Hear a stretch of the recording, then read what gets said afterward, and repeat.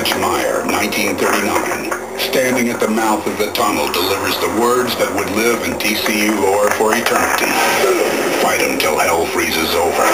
Then, fight 'em on the ice. That do-or-die attitude lives on in the 2010 TCU squad, who will do whatever it takes to bring home a victory. That might mean sacrificing their bodies, or it might mean shooting blood sometimes.